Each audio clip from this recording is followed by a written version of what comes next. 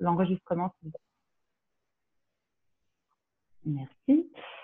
Euh, donc pour commencer, on va se présenter toutes les trois. Donc Laetitia.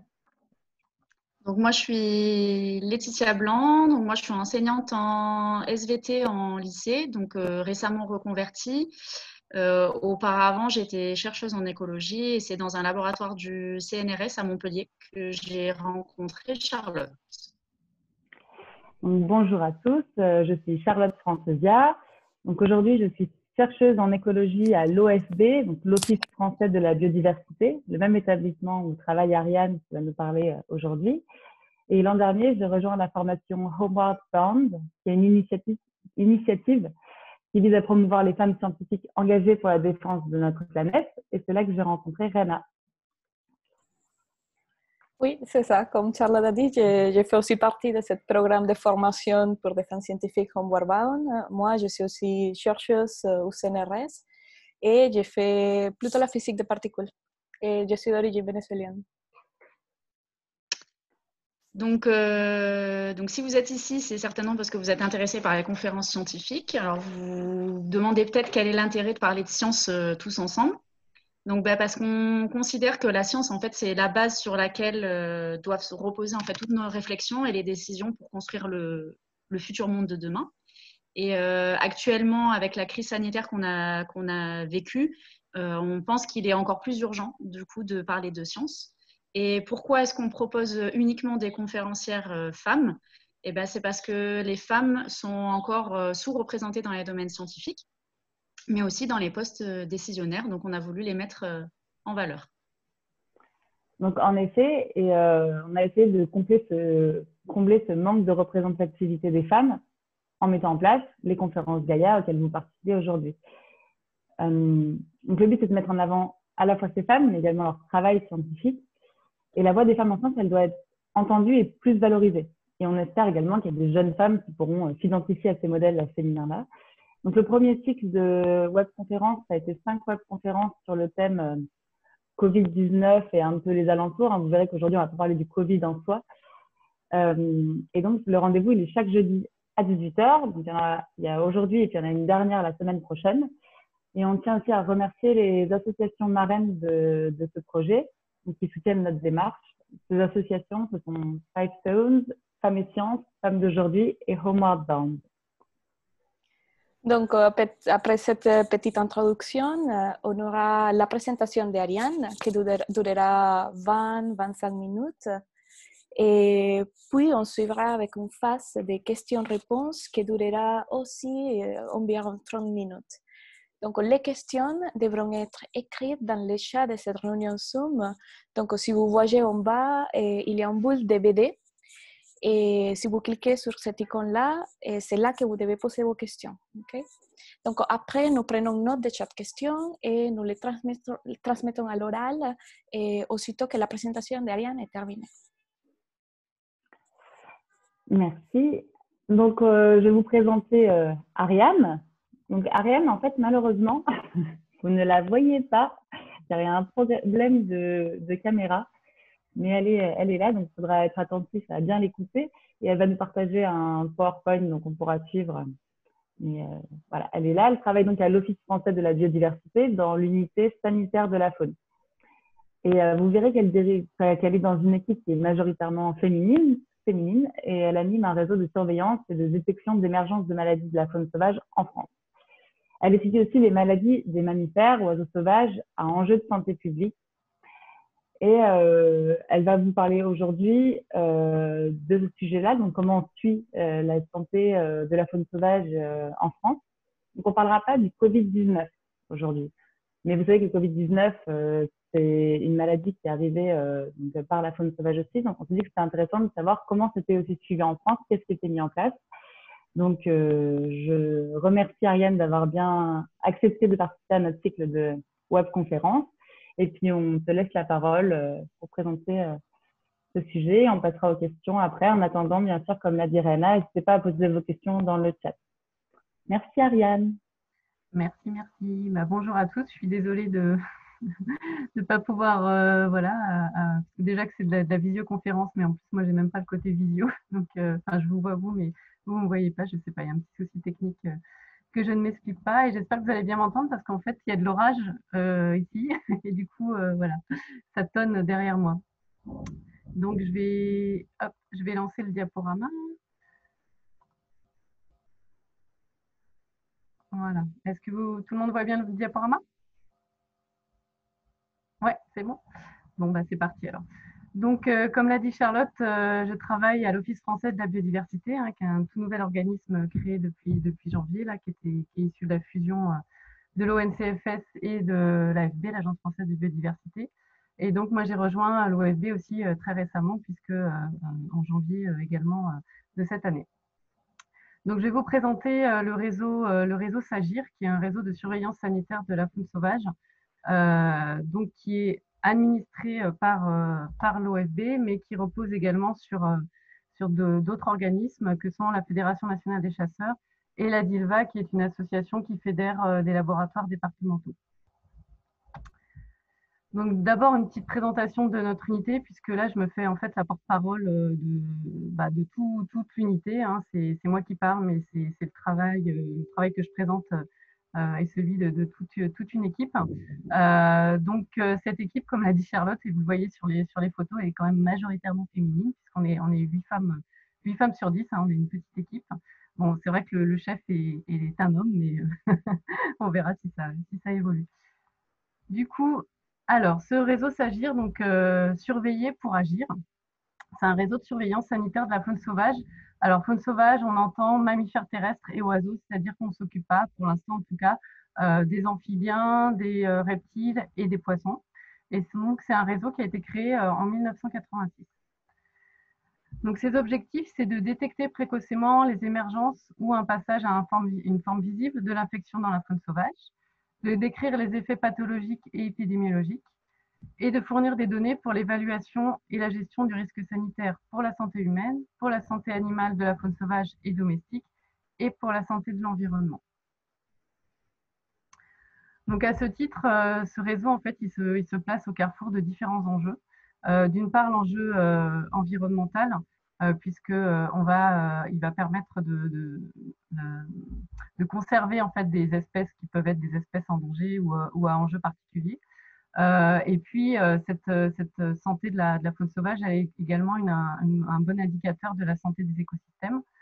Ensuite, l'enjeu est de santé publique, puisqu'on va, grâce à cette surveillance de, maladies dans la faune sauvage, pouvoir prévenir la propagation de maladies zoonotiques, hein, c'est-à-dire des maladies qui peuvent se transmettre de l'animal à l'homme. Ensuite, on a un enjeu également économique et de sécurité alimentaire, puisque euh, des maladies euh, se transmettent. On va surveiller des maladies qui sont transmissibles en fait entre faune sauvage et faune domestique. Et du coup, quand on les trouve dans, la faune sauvage, elles vont permettre de prévenir la propagation de ces, agents donc potentiellement transmissibles à la faune domestique et qui peuvent avoir un, impact très important pour les, filières d'élevage. Et enfin, l'enjeu peut être culturel et sociétal par rapport à la compréhension en fait, de, phénomènes de santé euh, extraordinaires et spectaculaires pour, euh, le grand public. Donc le réseau Sagir, en fait, il s'inscrit dans un concept euh, dont vous avez peut-être entendu parler parce qu'il est un petit peu à la mode, qui s'appelle One Health ou une seule santé en français, qui en fait fait des liens entre la santé humaine, la santé animale et la santé de l'environnement, basé sur le fait réel, effectivement, que, ces, que tous ces, ces compartiments sont reliés. Alors, comment ça fonctionne le réseau Sagir? Donc, en fait, effectivement, il y a une, tête de réseau, on va dire, qui se situe euh, dans, l'unité sanitaire de la faune. Mais sinon, on repose sur tout un réseau d'observateurs et de collecteurs euh, sur euh, tout, le territoire métropolitain, mais aussi dans les DOM et dans les territoires, les terres australes françaises. Ces, observateurs, en fait, ils ils sont formés euh, ils sont formés à la détection de signaux anormaux de mortalité, c'est-à-dire qu'on euh, ne va pas euh, faire une alerte sur le moindre, le moindre, la moindre mortalité d'animal sauvage, parce que comme, tout un chacun, ces animaux meurent. Mais par contre, il peut y, avoir des, signaux anormaux, c'est-à-dire des mortalités groupées, soit dans le temps, dans l'espace ou sur des espèces particulières. Et du coup, ça, ça va, ça va constituer voilà, un signal anormal. Donc ces observateurs, ils sont formés et autorisés parce qu'il y a aussi nécessité d'avoir une autorisation pour collecter des animaux sauvages et ils sont coordonnés par des, ce qu'on appelle des interlocuteurs techniques départementaux qui sont présents dans chaque, chaque département. Donc il y en a deux par département, un appartenant à l'OFB et un appartenant à la Fédération départementale des chasseurs. Donc, une fois qu'ils ont détecté euh, des signaux euh, de mortalité, ils vont collecter euh, des cadavres qui vont être acheminés dans des laboratoires départementaux. Donc là aussi, on a un réseau très important de laboratoires puisqu'il y en a à peu près un par département ou des laboratoires spécialisés quand il y a une recherche d'un agent infectieux particulier. Et donc, ces laboratoires, ils vont réaliser des autopsies, donc des, cadavres qui ont été amenés par les observateurs et des analyses selon un protocole qui est harmonisé les données qui sont issues euh, à la fois du terrain, donc remplies, enfin saisies par les acteurs de terrain, euh, donc les observateurs qui vont saisir bah, les contextes dans lesquels ils ont trouvé euh, ces cadavres, est-ce que telle espèce, quelle espèce, quelle était l'apparence du cadavre au moment de, au moment de la collecte. Toutes ces informations vont être saisies dans une base de données unique qui s'appelle la base de données Epiphone, qui va également recueillir les données d'analyse et d'autopsie par les laboratoires. Donc tout ça va converger euh, dans une même base de données unique qui va évidemment remonter euh, au niveau de l'unité sanitaire de la faune puisque euh, l'administratrice de cette base est placée dans, notre unité. Et donc les responsables scientifiques du réseau, donc mes collègues de, l'unité, vont avoir accès à ces données et vont pouvoir les interpréter et les traiter. Le rôle de ces responsables scientifiques, c'est évidemment aussi d'animer le réseau, puisqu'on a, on a vraiment des, des, interlocuteurs répartis sur tout le territoire donc, euh, s'il y a des signaux particuliers, des, niveaux de vigilance à avoir sur, euh, bah, par exemple, telle maladie, si on sait que bah, là, il y a des, quelque chose, on sent quelque chose qui se passe, on va euh, interagir. C'est vraiment dans les deux sens, ces informations vont dans les deux sens, elles remontent du terrain, mais elles descendent aussi vers le terrain pour justement animer ce réseau et mettre en, œuvre une, vigilance, par, exemple particulière. Et puis, il y a des échanges évidemment aussi avec les laboratoires sur les protocoles et sur les informations bah, à, fournir dans, les deux sens provenant des laboratoires, mais aussi des, informations qui peuvent venir euh, de, de, développement d'outils méthodologiques au niveau du diagnostic, par exemple. Alors, la force de l'OFB, c'est d'avoir, euh, Charlotte est bien placée pour le savoir, d'avoir euh, des spécialistes de, différentes, de l'écologie de différentes espèces sauvages. Et, et, donc, on peut interagir avec eux. Ça, fait partie également de, bah, la force de l'OFB pour, nous aider justement à, interpréter, à traiter nos données de maladies et d'épidémiologie euh, on ne peut pas se départir de, euh, des aspects écologiques de ces, de ces animaux sauvages. Donc, on va aussi avoir l'appui des autres unités de recherche de l'OFB, euh, que ce soit qui sont spécialisées par exemple sur, sur telle espèce d'oiseau ou sur tel type d'ongulé, qui vont vraiment nous aider à, à, comprendre les, événements sanitaires qui ont cours. Alors, le réseau SAGIR, en fait, il s'appuie sur ce qu'on appelle une surveillance événementielle. Alors, c'est quoi une surveillance événementielle? En fait, c'est une surveillance qu'on peut qualifier d'opportuniste, dans le sens où elle est basée sur une détection fortuite de mortalité ou de morbidité dans la faune sauvage. C'est-à-dire que ces observateurs qui sont sur le terrain, ils n'ont pas forcément à rechercher une, espèce ou une maladie en particulier, mais ils sont sur le terrain et à partir du moment où ils vont bah, rencontrer euh, de façon fortuite euh, des mortalités d'animaux euh, qu'ils peuvent juger anormales, ils vont donc pouvoir déclencher l'alerte et prévenir justement les animateurs du réseau SAGIR. Alors, ce qu'on appelle la surveillance syndromique, c'est euh, justement cette convergence d'événements de mortalité ou de manifestations pathologiques qui vont déclencher l'alerte. C'est-à-dire que là, on ne sait pas encore ce qui se passe et qu'on n'a pas encore identifié euh, d'agents infectieux qui, seraient, euh, qui, seraient, en cause, mais on voit qu'il y a quelque chose qui se passe, qu'il y a, bah, des, animaux qui meurent à un, même endroit, une même espèce par exemple, et donc on a une alerte qui est, qui est générée. Donc ça, c'est ce qu'on appelle la surveillance syndromique qui se base juste sur finalement une convergence de symptômes de mortalité. Et enfin, on a la surveillance étiologique parce que bah, c'est en fait la, troisième étape. Ça, c'est finalement des surveillances qui se déclinent aussi, euh, qui s'échelonnent dans le temps. Euh, parce que ces animaux, ces cadavres, une fois qu'ils sont passés au laboratoire, euh, bah, le laboratoire permet justement, dans la plupart des cas en tout cas, de déterminer la cause de mortalité ou de morbidité et donc d'identifier l'agent infectieux ou toxique. Hein, ça peut aussi être des agents toxiques qui sont en cause dans cet événement sanitaire. Donc en fait, l'avantage de, ces surveillances qui sont, complémentaires, c'est qu'on a d'une part un maillage national, puisque le réseau d'observateurs, il est, dans tous les, réparti dans tous les départements, y compris dans les DOM. Euh, il est généraliste parce qu'il ne cible pas une espèce ou un pathogène en particulier, mais bon, voilà, c'est ce qu'on disait sur l'aspect opportuniste et fortuit. Et il est continu puisque ces observateurs de terrain, ils sont présents en permanence sur le terrain. Donc en cela, en fait, le réseau SAGIR, avec ce type de surveillance, il constitue vraiment un outil de veille et de détection précoce de circulation, changement de virulence ou d'introduction d'agents infectieux ou de toxiques dans les populations sauvages. En revanche, étant donné qu'on surveille en fait euh, bah, ce, qui nous, alerte, c'est de la mortalité ou vraiment des animaux moribonds qui sont en mauvais état, on ne détecte que des maladies entre guillemets, des maladies létales, donc mortelles, ou qui ont euh, des symptômes très visibles euh, chez les animaux sauvages. Mais euh, on peut faire un petit décliner la surveillance de façon plus, on va dire, plus spécialisée et plus renforcée. Si on a un objectif en fait de vigilance sur un agent pathogène d'intérêt majeur, on veut vraiment savoir si, bah, si, tel agent pathogène circule dans la faune sauvage, on va renforcer en fait cette surveillance pour plus qu'elle soit juste basée sur, sur l'événementiel ou sur de, sur du de la rencontre fortuite. Donc à ce moment-là, cette surveillance, elle cible un agent pathogène en particulier et elle est basée aussi sur le risque, c'est-à-dire qu'on va cibler des espèces, un groupe d'espèces, des zones géographiques ou des périodes qui sont plus à risque pour euh, détecter euh, euh, cet agent pathogène. Donc là, je peux vous donner l'exemple de la surveillance renforcée qui a, qui a cours sur l'influenza aviaire.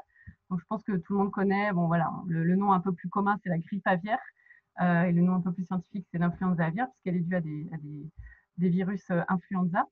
Et donc là, en fait, euh, le, réseau SAGIR, il est, il est sous la forme de surveillance renforcée, dans le sens où on cible des oiseaux d'eau, qui sont les espèces en fait les plus, les plus sensibles à, cette, à, ces, à, ces, virus, dans des zones particulières. Donc les oiseaux d'eau étant présents dans les zones humides, on, cible les zones humides. Et on sait euh, que euh, l'introduction de ces virus par les oiseaux sauvages, elle vient en fait, euh, elle provient des, mouvements de migration. Pardon, je ne contrôle pas. Les, les, mouvements de migration, donc les zones, les zones de surveillance particulières vont, vont, vont être localisées au niveau des couloirs de migration et pendant les périodes de, de, de, migration. Ou évidemment, si on a connaissance de foyers dans des pays voisins à un moment particulier, on va dire ah bah là il faut il faut être particulièrement vigilant en ce moment parce qu'on sait que euh, on sait qu'à côté, par exemple, voilà, dans un pays frontalier, on a eu un foyer d'influenza aviaire. On sait qu'en plus, là, on a les oiseaux qui sont en train de migrer et d'arriver en France. Donc, on va lever le niveau de vigilance. Et donc, tous les oiseaux d'eau qui vont être détectés morts euh, vont être euh, analysés avec une, recherche spécifique d'influenza aviaire. Alors, le deuxième exemple que je peux vous donner, c'est la surveillance d'un virus qui s'appelle le virus du Nil occidental. Donc ça, c'est un virus qui est, euh, qui euh, zoonotique, c'est-à-dire qu'il est, transmissible à l'homme, euh, mais qui est hébergé, enfin, dont le réservoir sont, les oiseaux, et qui est transmis par un moustique. Donc c'est ce qu'on appelle une arbovirose. Et donc là, la surveillance, elle est également renforcée et elle est ciblée donc sur des, sur des espèces euh, d'oiseaux en particulier qui sont particulièrement révélatrices en fait, de, la présence de ce virus, donc euh, les corvidés et les rapaces. On cible une zone géographique particulière qui est le sud de la France parce que c'est là que le, le, moustique euh, qui transmet ce virus est présent et également en Alsace parce qu'on sait qu'il y a eu des foyers de ce, des foyers de ce virus en Allemagne. Et on cible également une période, euh, la, période d'activité vectorielle, donc euh, c'est-à-dire la période où le moustique euh, transmetteur est actif, c'est-à-dire entre l'été et l'automne. Donc là, cette surveillance, elle va être mise en œuvre en ciblant ces espèces-là, c'est-à-dire que tout, corvidé ou tout rapace qui est trouvé sur, sur ces zones, je ne parle pas assez vite par rapport au... Pardon sur ces zones, euh, sur ces zones géographiques pendant cette période-là, euh, qui sont morts ou qui sont trouvés avec des symptômes particuliers. Ça, c'est une, maladie qui déclenche des symptômes nerveux et locomoteurs. Ils vont être ramassés et analysés pour rechercher spécifiquement ce virus et voir si, bah, justement, s'il est présent ou pas chez ces oiseaux. Donc là, vous avez une prise, bah, une, ouais, une, flèche temporelle qui vous, qui vous montre les, différentes détections qui ont été mises de, bah, d'événements, enfin de, d'agents infectieux qui ont été mis, en évidence grâce au réseau Sagir. Donc vous voyez qu'il y en a un certain nombre, sachant qu'on a pris voilà, de 93 à 2019. Donc ce n'est pas tout à fait exhaustif, mais, mais pas loin. Donc je ne vais pas tout vous détailler. Là, voilà, j'ai entouré quelques exemples un petit peu particuliers. Euh, donc, euh, en 92 et en 2002, le réseau Sagir a permis de mettre en évidence un virus qui s'appelle le virus de la peste porcine classique, qui est un virus qui touche que les, que les suidés, mais qui est vraiment d'importance pour la filière porcine parce qu'il est très, très mortel, très létal pour les porcins. Donc, ça serait une catastrophe si ce, si ce virus euh, arrivait dans chez des cochons, voilà, pour la filière, la filière porcine française. Donc le réseau Sagir a permis de le mettre en évidence et derrière de mettre, euh, de mettre des mesures de gestion qui, font que maintenant ce virus euh, a été euh, éradiqué. Donc c'était dans les, dans les Vosges. en 2006, l'influenza aviaire hautement pathogène a été mise en évidence dans la Dombe, donc sur des, dans des, une zone d'étang sur, un, sur, sur un fuligule. Donc ça, ça a été vraiment très important puisque c'était la première fois qu'on avait de l'influenza aviaire hautement pathogène en France. Et euh, bon, vous connaissez quand même l'importance euh, zoonotique de ce, virus. Et là, il a été détecté dans la vie faune grâce au réseau Sagir avant même qu'il soit détecté euh, dans, dans, la, dans la domestique. ensuite, en 2013, je vous ai entouré l'exemple de la maladie de l'œdème chez le sanglier. Donc ça, c'est une maladie aussi qui est, uniquement porcine, mais qui était connue chez le porc, mais qui n'avait jamais été décrite chez le sanglier. Donc, suite à un épisode de mortalité vraiment important, c'était en, Ardèche, bah, le réseau Sagir voilà, a été mis en alerte. Et après un diagnostic assez complexe, il faut le dire, euh, cette maladie a été, a été mise en évidence. Et donc, euh, c'est quand même la première description mondiale de, ce virus. De, pardon, c'est pas un virus, c'est une, toxine qui est émise par une, bactérie.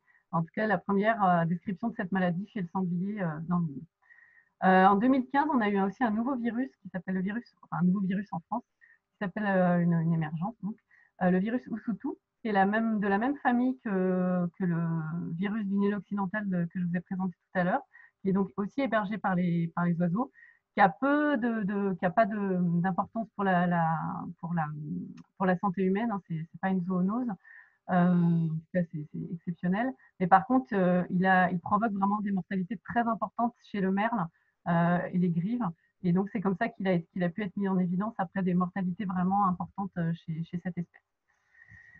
2018, euh, euh, donc là, je vous ai entouré le botulisme euh, de type E. Alors, le botulisme, peut-être que certaines d'entre vous connaissent parce que c'est quand même voilà, un nom qui est assez connu parce qu'effectivement, là, c'est un, une, maladie qui, est zoonotique, donc qui est, qui est d'importance de santé publique, hein, qui peut être transmise par l'homme. Mais en fait, ça dépend des toxines, parce que c'est une bactérie qui produit des toxines. Et en l'occurrence, chez les, chez les oiseaux sauvages, on retrouvait une toxine qui n'était pas d'importance pour la santé humaine, euh, qui est une toxine CD. Mais par contre, euh, en 2018, c'est la toxine de type E qui peut être transmise, enfin qui peut être d'importance zoonotique, qui a été mise en évidence chez des anatidés. Et puis, en 2018 également, on a, grâce à la surveillance renforcée là, du virus du Nil occidental, qui a été donc, la surveillance renforcée que je vous ai décrite juste avant, eh ben, elle a permis de mettre en évidence euh, euh, la circulation d'une nouvelle souche de ce virus qui avait été, jamais été décrite en France et qui a été trouvée donc chez un rapace. Donc, ce qu'on constate sur, la, sur cette, cette euh, frise, c'est qu'on a l'impression qu'il y a un peu une, une accélération, enfin une, augmentation de fréquence des émergences. Alors, ce qui est difficile à dire, c'est si c'est vraiment une accélération des émergences, c'est-à-dire qu'on a de plus en plus de, bah, d'agents infectieux qui arrivent, ou si c'est une efficacité accrue du réseau, c'est-à-dire une meilleure surveillance euh, c'est sûrement, sûrement un peu des deux. Donc, une fois qu'on a euh, identifié euh, donc un, événement sanitaire, donc grâce à cette surveillance, et une fois qu'il est détecté et identifié, on va pouvoir décrire, en le suivant finalement, ces évolutions spatiales et temporelles. Et donc gérer cet événement sanitaire. Donc cette gestion, elle va, bah, elle va dépendre de l'importance de l'agent infectieux et dans le cas de, danger sanitaire de première catégorie, alors ça c'est un terme un petit peu, euh, un petit peu réglementaire, on va dire, ça, en fait ça qualifie euh, des maladies qui sont justement d'enjeux euh, majeurs pour la santé publique ou pour, ou pour les, filières d'élevage. Donc va se mettre en place en fait une gestion de crise pour, bah, pour, circonscrire et pour, pour limiter le plus possible la propagation de, de, ce foyer et de, de, cette, de cet agent infectieux. Et donc, il va mettre, en fait, la gestion de crise, elle va consister à la, mise en œuvre de mesures de lutte grâce à de la police sanitaire, hein, donc à des, actions vraiment de lutte. Donc, soit ça va être la restriction de mouvement, soit ça va être de, bah, la baisse de l'abattage d'animaux qui sont infectés, et donc qui vont être mises en œuvre justement par des agents, les agents de l'OFD hein, qui, sont assermentés pour mettre en, œuvre cette police, euh, sanitaire euh, sous coordonnée par une de mes collègues. Et, euh, et, donc, le but de cette police sanitaire et de cette gestion de crise, bah, c'est de, limiter, de, circonscrire le foyer et d'essayer de, l'éradiquer le plus rapidement possible. À côté de ça, on peut avoir une surveillance programmée. Alors, la surveillance programmée, en fait, c'est quand on a euh, un, danger sanitaire qu'on veut suivre, qui est peut-être moins impactant, mais qui est important de suivre euh, et de connaître exactement son évolution d'année en année dans les espèces sauvages. Donc, euh, par exemple, là, je peux vous donner l'exemple de la tuberculose bovine, qui est, un, bah, une maladie qui sévit chez les bovins et qui est vraiment d'importance économique dans, le sens où si là la France elle est indemne de, tuberculose bovine, mais si elle perd ce statut indemne en termes d'exportation de, pour, ces, pour ces bovins, ça sera vraiment une catastrophe. Et il se trouve qu'on a des animaux sauvages, euh, donc des différentes populations sauvages qui sont infectées euh, par cette tuberculose bovine et donc qui pourraient euh, menacer le statut indemne de la France vis-à-vis -vis de cette maladie. Donc on a intérêt vraiment à surveiller de façon précise donc là, dans ce cas-là, c'est vraiment chaque année, on prend un échantillon, euh, d'animaux, donc en l'occurrence, c'est des sangliers et des blaireaux, euh, qu'on va tester spécifiquement pour cette maladie pour connaître le taux d'infection euh, qui, existe chez, ces espèces vis-à-vis de cette maladie. Et donc, qui permet un suivi et aussi de voir si les mesures qui ont été mises en œuvre bah, par la police sanitaire ou par la gestion de crise ont été efficaces pour faire diminuer euh, bah, le taux d'infection chez, les différentes espèces sauvages. Et bien sûr, derrière, chez les espèces domestiques. Donc, à côté de ça, bah, il y a aussi de la recherche. Évidemment, on a besoin de comprendre ce qui se passe, on a besoin de comprendre pourquoi on a euh, une maladie qui a émergé comme ça, qu'on a détecté dans les animaux sauvages, et comment ça peut se transmettre, quel risque ça peut représenter pour, euh, pour les, autres espèces domestiques, comment ça peut évoluer, euh, est-ce que ça peut euh, se propager facilement, pas facilement Est-ce que ça reste circonscrit à une espèce, à plusieurs espèces. Donc là, c'est des travaux de recherche qui vont être mis en œuvre sur des pas de temps un peu plus longs pour essayer de comprendre les mécanismes pathologiques et épidémiologiques, sachant qu'évidemment, cette compréhension va nourrir le gestionnaire qui va pouvoir utiliser ce qui a été trouvé en termes de travaux de recherche pour gérer au mieux ces événements sanitaires. Et l'objectif euh, final, euh, évidemment, de tout ça étant la limitation des risques sanitaires pour la santé animale et humaine. Alors, je vais vous donner rapidement peut-être un exemple de, de, travaux de recherche sur les risques de transmission de la tuberculose bovine entre faune sauvage et bovin. Donc, un exemple que je connais bien puisque c'était euh, l'objet de ma thèse universitaire. Donc là, en fait, euh, l'objectif, c'était euh, justement de connaître le rôle épidémiologique que pouvaient avoir des espèces sauvages infectées par la tuberculose, donc le, blaireau, le sanglier, le cerf.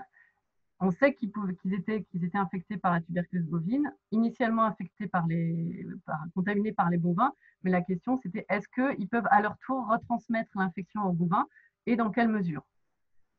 Et donc là, on a fait appel à des outils, finalement, des outils euh, de suivi d'écologie de ces espèces en leur mettant des colliers GPS euh, et en faisant appel à de la vidéosurveillance pour mesurer euh, les contacts, les interactions entre ces animaux sauvages et, les, bovins. Donc, bah, les, voilà, les, colliers GPS, c'était pour voir dans quelle mesure ils utilisaient des zones de pâture, par exemple, où étaient les bovins.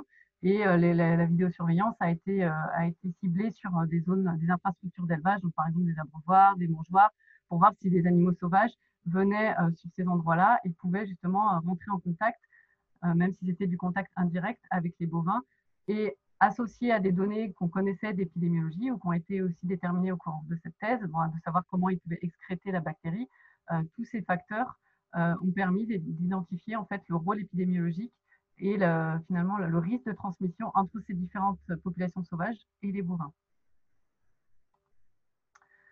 Donc, euh, bah, tous ces travaux de recherche euh, et cette surveillance, elle a donné lieu à un grand nombre de, de, publications scientifiques. Hein. On, est, on, est, assez actif en, termes de, publications parce que, bah, comme vous avez vu, il y a eu beaucoup de détections nouvelles, des, choses qui ont, été montrées pour la première fois en France. Puis bon, voilà, des, travaux de recherche nombreux et variés. Donc voilà, petit exemple de l'activité scientifique de l'équipe. Et puis, encore à côté de ça, de ces travaux de recherche, euh, il y a aussi une activité de développement et de méthodes et d'outils euh, sur différents volets.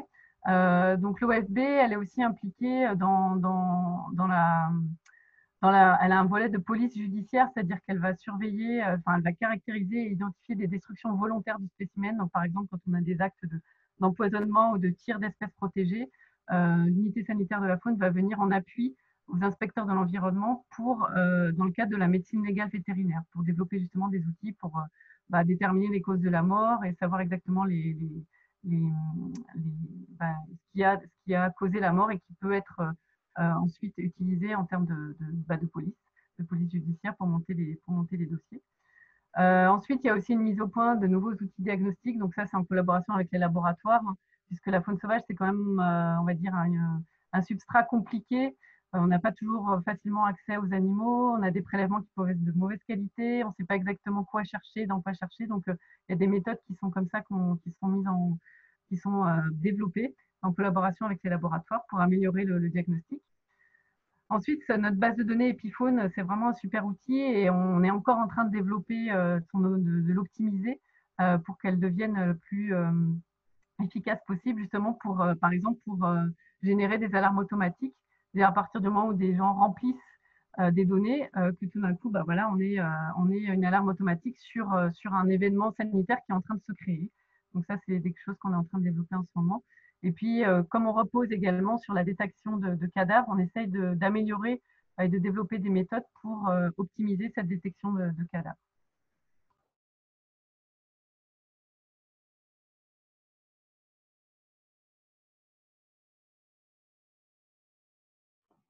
Ariane, il n'y a plus ton micro. On ne t'entend plus. Euh, coupé, euh, je vois que ton micro est coupé. Voilà. Ah, c'est revenu. Je suis désolée. Merci. Pas de problème. Bon, c'est la dernière diapo, donc juste pour vous signaler que, bah, que le réseau Sagir n'est pas le seul réseau qui, surveille la faune sauvage, la, surveille, qui surveille la faune sauvage en termes sanitaires. Il y a, a d'autres réseaux qui permettent la veille sanitaire. Euh, donc des réseaux qui s'appuient sur le réseau SAGIR, mais qui sont spécifiques de certaines espèces, comme euh, le réseau euh, de surveillance de mortalité des, chiroptères, donc des chauves-souris. il y a également des, réseaux qui s'appuient sur les associations de protection de la nature, notamment la LPO, pour, pour les rapaces. il y a une surveillance sanitaire qui, s'opère également dans les parcs nationaux. Il y a le réseau national d'échouage, donc pour les mammifères marins. Après, on a les chasseurs en fait euh, qui, ont un, qui opèrent une, surveillance sanitaire parce qu'on a un examen initial de la venaison, c'est-à-dire à chaque fois que du gibier est, euh, chassé et donc euh, ouvert, il y a voilà une détection, une, sur, une veille en fait sur, sur les lésions qui, sont, qui peuvent être trouvées au moment de, au moment de l'ouverture du gibier. Euh, les vétérinaires praticiens euh, participent aussi à la veille dans le sens où bah, ils peuvent être amenés à soigner des animaux sauvages. Et puis il y a en fait des, animaux domestiques qui peuvent être euh, révélateurs de, maladies de, la faune sauvage. ensuite, il y a les centres de sauvegarde hein, bah, qui recueillent justement des, animaux sauvages blessés ou malades. Et puis, en faune sauvage captive, on a bah, les, animaux de zoo. Hein, et donc, l'Association française des vétérinaires praticiens des zoos peuvent aussi participer à cette veille sanitaire. Et ben voilà, je crois que j'en ai terminé. Euh, donc, euh, bah, merci de votre attention et donc je suis prête à répondre aux questions. Super, merci beaucoup Ariane. Alors, euh, bah, on en a plein des questions.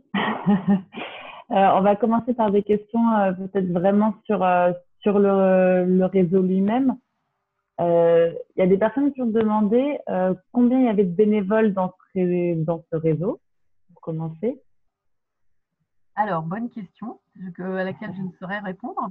Alors, il n'y a pas, en fait, euh, on peut pas parler de bénévoles dans le sens où, euh, euh, donc je vous ai parlé du réseau des observateurs et des collecteurs. C'est des gens qui sont, qui sont principalement, donc, bah, c'est principalement des agents de l'OFB et des agents des fédérations des chasseurs.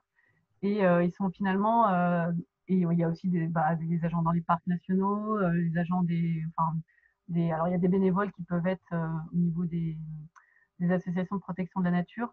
Mais principalement, en fait, c'est pas un réseau de bénévoles, c'est un réseau plutôt de, de, gens qui sont justement euh, qui sont formés et qui sont en, en, lien avec, avec, avec les animateurs et les responsables scientifiques, donc au sein des fédérations de chasse et de l'OFB principalement. Donc, on peut avoir, on peut avoir une, une, des signalements, on a des gens qui nous signalent, hein, qui connaissent le réseau et qui signalent, voilà, parce qu'ils voient des mortalités, donc ils vont, ils vont nous aider. Mais on repose quand même principalement sur, sur des gens qui sont formés et qui ne sont, pas, voilà, qui sont pas juste bénévoles à se balader dans la nature. D'accord, parce qu'il y a une question, c'était de comment faire partie de ce réseau. Et du coup, si une personne faire partir de, de ce réseau-là. Euh, non, non, non. Ce qu'il faut faire, en fait, si vous détectez des, hmm. voilà, des mortalités, c'est qu'il faut prévenir en fait ces interlocuteurs techniques et ces observateurs, c'est-à-dire euh, prendre, prendre contact avec, euh, avec le, service départemental de l'OFB ou la fédération départementale des chasseurs. Parce que c'est eux, en fait, qui vont, qui vont déjà qui vont euh, qui vont voir si, si ça, ça, vaut le coup en fait d'être, euh, si, si, justement ça constitue une alerte. Mm. C'est ça aussi leur, leur formation, c'est de savoir détecter de la, une mortalité anormale, juger d'une mortalité anormale euh, d'une mortalité normale. Donc c'est pour ça qu'on repose sur des gens qui sont quand même, qui sont mm. quand même formés. Donc ça n'empêche pas les gens de contacter justement ces interlocuteurs techniques. Hein. Bah, du coup, ça répond à la question qu'on avait euh, juste après. Euh, quant au fait, si, si quelqu'un trouve euh, un oiseau qui semble être mort d'une mort un peu bizarre, voilà, pas, pas, naturelle, quoi, est-ce qu'on contacte préférentiellement l'OFB ou plutôt une asso aux alentours? Oui. bah oui, oui, vous pouvez continuer. Oui, oui, tout à fait. Bah, vaut mieux. alors, l'un n'empêche pas l'autre. Hein, après, ça dépend aussi parce qu'on est quand même en, gros, en super réseau, on va dire qu'on se, communique les uns, on communique les uns avec les autres, mais euh, pour, euh, dans le but d'avoir une veille sanitaire et d'avoir une, euh, bah de, signaler des mortalités qui pourraient être dues à, quelque chose, voilà, d'un événement sanitaire qui se passe, c'est plutôt vers l'OFB qu'il faut, qu'il faut, qu'il faut se tourner, ouais.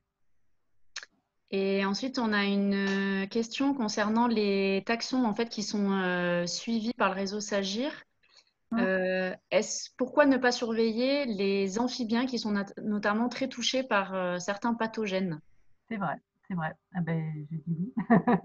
c'est vrai. Euh, et, pour être tout à fait.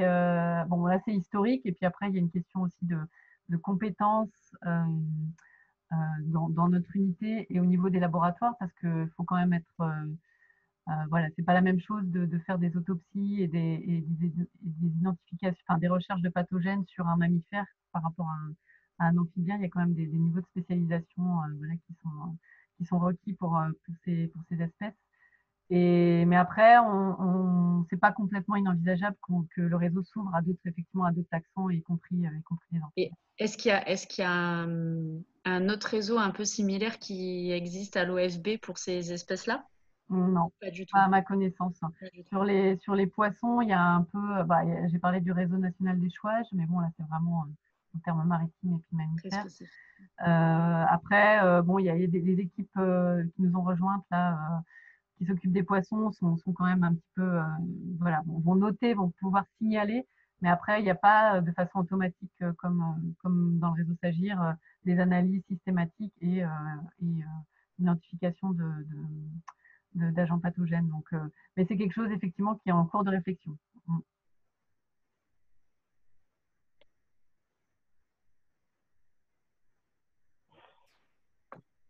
Alors, euh, alors on a une, question aussi sur euh, l'Office français de la biodiversité au final, sur ces postes entre recherche et application et comment se fait ce lien entre justement la recherche et euh, l'appliquer sur le terrain et ce qu'il y a à mettre en place, etc.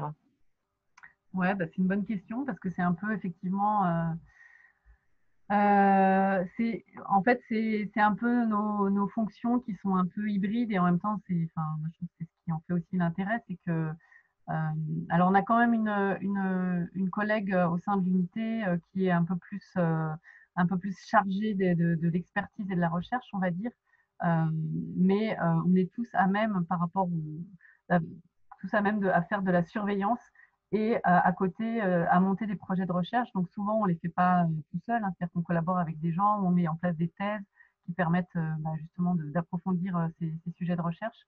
Mais en fait, on est vraiment effectivement à l'articulation de la surveillance et de la recherche avec, bah, bien sûr, on aimerait avoir plus de temps pour la recherche parce que c'est quand même assez chronophage, mais on a, on a un aspect surveillance et cet aspect animation et parfois vraiment urgentiste où on doit gérer des crises sanitaires qui fait qu'on n'a pas toujours le temps requis pour, pour vraiment développer toute la recherche qu'on voudrait faire. Mais bon, voilà, d'où les collaborations et puis en interne, hein, puisqu'on collabore, comme je dis, beaucoup avec les autres unités de recherche, mais également avec d'autres instituts de recherche que ce soit des universités ou d'autres instituts de recherche sur ces, sur ces thématiques-là. Alors après, on a une question qui fait un petit peu débat. Euh, quel, intérêt, de surveiller le virus euh, Usutu s'il ne concerne pas a priori ni l'être humain ni les animaux d'élevage? Bah oui, bah c'est la conservation, c'est la biodiversité. C'est-à-dire que l'enjeu, parmi les enjeux du réseau Sagir, euh, j'ai cité l'enjeu environnemental. Euh, l'enjeu environnemental, bah, voilà, c'est d'avoir, euh, bah, si on a une population qui est totalement décimée par une maladie, je pense que c'est quand même important de le savoir et d'essayer de, de, la suivre. Et bon, le merle, c'est vrai que les merles, en l'occurrence, c'est pas une espèce qui est en danger, mais c'est intéressant de savoir qu'elle est sensible à, cette, à, cet agent pathogène et que et qu'elle peut être décimée et que c'est intéressant. C'est là aussi où on, s'adjoint les, compétences des collègues euh, qui travaillent sur le sur l'étude d'idées, sur ces espèces-là, pour voir comment en fait la démographie est, euh, impactée, a pu être impactée par euh, cet épisode aussi chez le maire. Donc je pense qu'il y a quand même un, intérêt à suivre des, des, agents pathogènes qui touchent uniquement des animaux sauvages parce que bah, parce que c'est bien de garder nos animaux sauvages aussi on est dans, le concept, voilà, dans le concept une seule santé, ça fait partie de la santé des écosystèmes et euh, après ça peut créer des déséquilibres. Donc, euh, donc voilà, je pense que c'est important de, surveiller ces, pathogènes-là aussi. Alors du coup, on a eu une euh, réponse en même temps que je viens de poser la question de Maria Teresa qui dit que Usutu, donc est de la même famille que le Zika, est transmis aussi par les moustiques et a été récemment décrit comme associé à des troubles neurologiques chez l'homme tels que encéphalite, méningo-encéphalite, y compris la paralysie faciale mettant en évidence la menace potentielle pour la santé du coup. Ouais, je l'ai dit vraiment très rapidement quand je l'ai présenté. C'est effectivement la même famille que bon déjà que, que le virus du Nil occidental et effectivement euh, de la de la dengue et de Zika et même de la fièvre jaune. Et alors, je ne l'ai pas cité comme euh, maladie parce que pour l'instant, à ma connaissance et de ce que, j'en ai lu, c'est les cas de transmission à l'homme sont vraiment, vraiment exceptionnels. Contrairement au virus du, Nil occidental où il y a eu des cas humains euh, d'encéphalite effectivement dans, le sud de la France. Donc, je ne l'ai pas présenté comme un, virus à, potentialité euh, zoonotique. Mais bon, ça répond pas. Enfin, après, si on, la, question sur les sur le fait de, surveiller des maladies purement, euh, purement animales, enfin, voilà, reste, pour moi, reste, euh, les arguments restent ceux que j'ai évoqués tout à l'heure. On a une question concernant la mortalité euh, assez importante qui a été signalée apparemment il y a quelques années chez les merles. La personne se demande qui est le coupable, donc qui, qui était responsable. Bah, je pense que, alors je ne sais pas exactement quelle année c'est, mais c'est probablement Zoutou. Ouais. Euh, ouais. Ça a commencé en 2016, il me semble, si je ne dis pas de bêtises.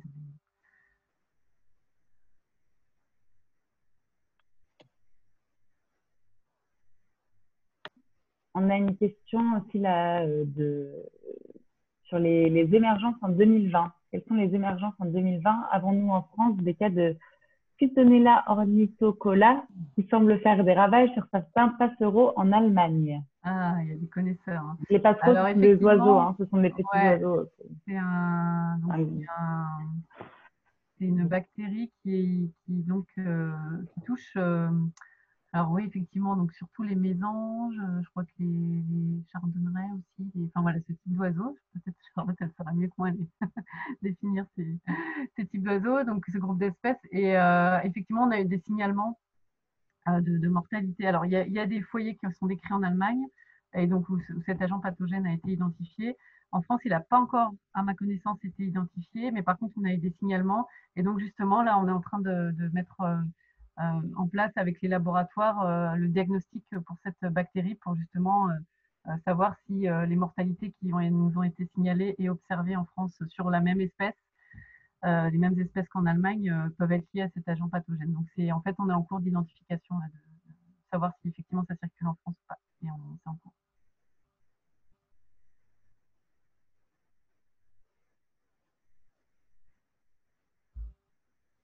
Ok, donc il y a eu d'autres émergences déjà détectées en 2020 chez d'autres euh, espèces ou d'autres pathogènes pour cette année-là? Non, là, j'ai pas de, de, breaking news, de grosses euh, choses fraîches à vous, vous fournir. Euh. non, bah après, il y a des foyers qui sont. Euh, non, non, non, il n'y a rien de. Rien de. Ouais, non, non. On a eu des, voilà, des épisodes de mortalité, mais qui sont pas. Après, voilà, c'est pas forcément. Bon, il y a eu. Alors, je ne sais pas si les personnes ont été au courant, ça, a été un petit peu communiqué par l'OFB. Là, il y a eu une mortalité très récente de, de puffins le courant dans le, sud de la France. Donc là où on a retrouvé effectivement une, cinquantaine de cadavres sur une zone euh, de plage très restreinte. Euh, mais là, en l'occurrence, enfin, a priori, euh, ce qui est suspecté de façon très, très probable, c'est pas du tout un agent infectieux, c'est traumatique en fait. C'est suite à un, filet de pêche en fait. C'est des oiseaux qui ont été, qui ont été pris par un filet de pêche et donc qui se sont noyés. Alors après, on a une question concernant euh, euh, le moment où tu as parlé, je pense, de tes travaux de thèse. Euh, sais-tu quelle est la transmission en retour de la tuberculose bovine depuis la faune sauvage? Donc, je pense que c'est des élevages vers la faune sauvage. À quel point la transmission se fait dans ce sens-là? Je pense. Hein. J'interprète peut-être la question. Ouais. Alors, en fait, c'est difficile de, quantifier euh, parce que justement, on a des outils. Euh, en fait, c'est là l'objet de la surveillance et de la vigilance dans la faune sauvage, c'est que euh, la première fois, donc c'était en 2001. Donc là, c'est justement par l'aspect inspection venaison, on a découvert des cerfs qui ont été donc qui étaient chassés et qui étaient qui avaient vraiment des lésions révélatrices de la présence de la tuberculose bovine. et après, dans d'autres zones où, où la, la, maladie circulait chez les bovins, on a trouvé effectivement des, différentes populations sauvages, donc euh, de sangliers, de, de, de, blaireaux et de cervidés qui ont été, qui étaient touchés. Alors, donc on sait qu'ils ont, que la transmission a eu lieu. Après, euh, c'est vraiment difficile de savoir quand est-ce qu'elle a eu lieu et, euh, et, de la quantifier. Euh, ce qu'on peut quantifier, c'est ce que je vous disais, c'est le taux d'infection de ces populations. Donc, alors ça, ça évolue dans le temps, hein, ce n'est pas quelque chose de fixe, puisque justement, il y a des mesures qui ont été mises en œuvre pour, pour limiter cette, cette, propagation et cette transmission. Donc, on a, on a eu des, des, périodes où on a eu voilà, plus de 10% d'infections dans les populations sauvages.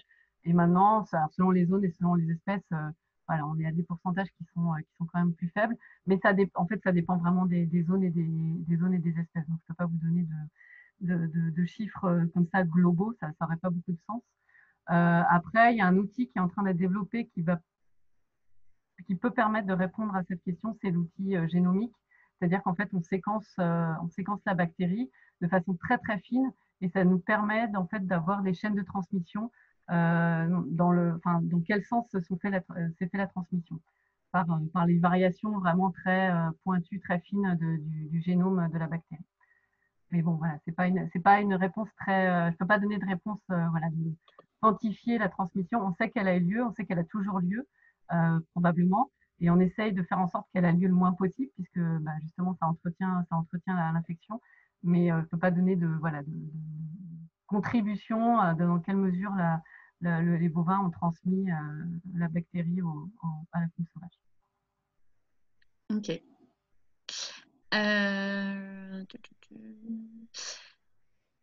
Alors, que vous inspirent les nombreux cas de contamination par le SRAS-CoV-2 dans les abattoirs en Allemagne? Alors, j'ai dit que je... on a dit, euh, ça a prévenu au début qu'il n'y avait pas de. Nous, on ne travaille pas du tout sur le, sur le SRAS. Hein. C'est vraiment pas notre objet d'étude. Euh. Donc, euh, bon, en plus, là, on est vraiment sur de l'humain pour le coup. Donc, certes, on, travaille sur, en collaboration et à l'interface avec la santé et la santé publique, hein, puisque j'ai bien dit qu'il y avait des intérêts, des enjeux de santé publique et, et qu'on est dans cette approche à une seule santé. Mais je peux, non, je peux pas répondre, j'ai pas du tout de, ni de compétences ni d'avis à donner sur, sur cette question. Pas de souci. Mmh. Et Ensuite, il y a une question sur euh, est-ce qu'il y a une collaboration entre les pays pour le suivi sanitaire de la faune sauvage et est-ce qu'il existe des réseaux similaires en Europe ou ailleurs? Euh, Oui, la réponse est oui. Alors, des réseaux similaires, oui. Alors, c'est pas forcément exactement, ça se, ça s'articule pas forcément exactement pareil, mais il y a des réseaux de surveillance, euh, de, la faune sauvage dans, dans, les autres pays et on collabore bien sûr avec, voilà, il y a il y a, une espèce d'association de, européenne des maladies de la faune sauvage où on a évidemment des échanges d'informations et des, informations sanitaires qui, nous parviennent des, différents pays, qui permettent évidemment d'être au courant euh, de ce qui se passe dans la faune sauvage euh, bah, à nos portes. Et on a des collaborations qui peuvent être faites euh, quand on doit gérer un foyer, comme par exemple celui de la peste porcine africaine, qui est vraiment à la frontière de la Belgique. Bah, évidemment, on collabore avec avec les Belges pour, euh, pour gérer ce foyer-là, pour harmoniser au mieux euh, les mesures de lutte.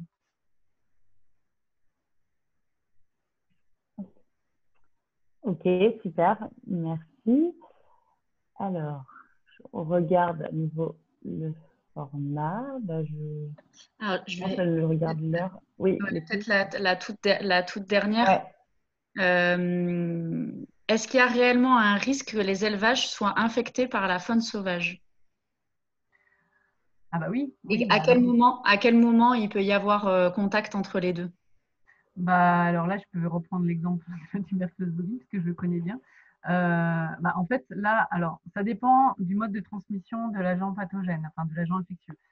Si on a un agent, euh, ce qu'on appelle, qui, enfin, qui se transmet par voie, par voie directe, c'est-à-dire qu'il y a vraiment besoin d'un contact très proche entre un animal sauvage et un animal domestique, ça, ça va être quand même relativement rare, bien que ce n'est pas complètement euh, exclu. Hein, mais c'est vrai qu'en général, les animaux sauvages ne vont pas euh, comme ça aller au contact direct avec un, animal euh, domestique, mais ça, peut arriver. par contre, il y a beaucoup d'agents pathogènes et la tuberculose bovine en fait partie, enfin Mycobacterium bovis, qui peut résister à en fait se maintenir et rester infectieux dans l'environnement. Donc, vous pouvez avoir un animal finalement sauvage, et donc c'était vraiment moi l'objet de mon étude, hein, qui arrive dans une pâture, par exemple un blaireau, qui peut euh, excréter la bactérie euh, bah, par, euh, par sa respiration, même par l'urine ou les fesses, déposer la bactérie dans la, la, pâture, et après, la vache qui vit dans cette pâture va venir inhaler, inhaler l'herbe où, enfin, où le, blaireau a déposé la bactérie, et elle peut comme ça s'infecter. Donc, il peut y avoir transmission comme ça. et donc là, j'ai pris un exemple sur un agent pathogène en particulier, mais c'est le cas sur, pour beaucoup, beaucoup de maladies qui sont transmissibles de cette façon entre euh, faune sauvage et, faune domestique. Donc ça, il y, a aussi euh, bien sûr euh, un impact, on peut parler de, bah, de, l'habitat et de la façon dont, c'est-à-dire que plus, plus le paysage et les habitats sont propices à ce qu'on ait des animaux sauvages qui, qui cohabitent avec des animaux domestiques, plus ces interactions vont être nombreuses, plus les transmissions peuvent, être, peuvent être probables. Donc ça, ça, bien sûr, ça, on parle là d'interface. L'interface est très important, euh, très important là-dedans aussi. D'où aussi des, recommandations qui consistent à, mettre en œuvre des mesures, ce qu'on appelle de biosécurité, pour éviter que euh, les animaux sauvages pénètrent dans l'environnement des, animaux domestiques. Ok, super. Merci beaucoup, Ariane. Le temps file, alors on va devoir euh, clôturer. Alors bah, déjà, bah, merci beaucoup à, bah, de m'avoir fait cette présentation, d'avoir pris le temps de répondre à, toutes ces questions. Euh, merci à tous euh, d'avoir été ici. C'est le temps que je, remette, que je remette mon micro, j'ai le doigt qui est arrivé. Donc oui, donc merci à tous pour votre, euh, votre présence et puis pour vos questions. Donc désolé si on n'a pas pu tous les, toutes les, les poser. Euh, on en a eu quelques-unes là qu'on n'a pas eu le temps de, de transmettre à Ariane.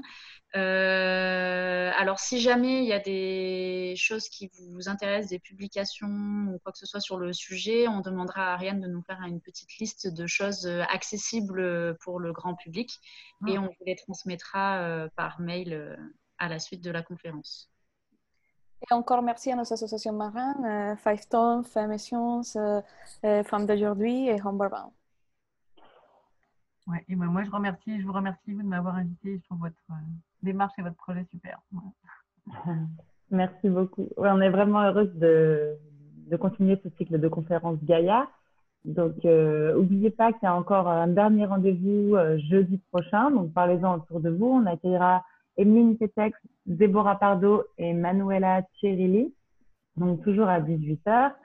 Et on va parler euh, de leadership. Donc, euh, ces, femmes qui vont euh, elles-mêmes être euh, chefs d'équipe, chefs de elles-mêmes, chefs de projets qu'elles ont envie de mener euh, dans différents contextes. Ça peut être pour elles, dans un groupe associatif, dans de la mobilisation politique, au sein de leur travail. Et d'ailleurs, il y a une des questions qui est passée aujourd'hui sur comment ça se fait qu'avec une composition féminine de 80%, on se retrouve avec un, un chef masculin? Alors, on pourra parler de tout ça la semaine prochaine. En tout cas, euh, merci beaucoup encore Ariane et merci à, à tous d'avoir participé aujourd'hui et à la semaine prochaine, j'espère. merci beaucoup. Au revoir. Au revoir. Au revoir. Je ne sais pas vous dire tous au revoir. Bonne soirée. Bonne soirée.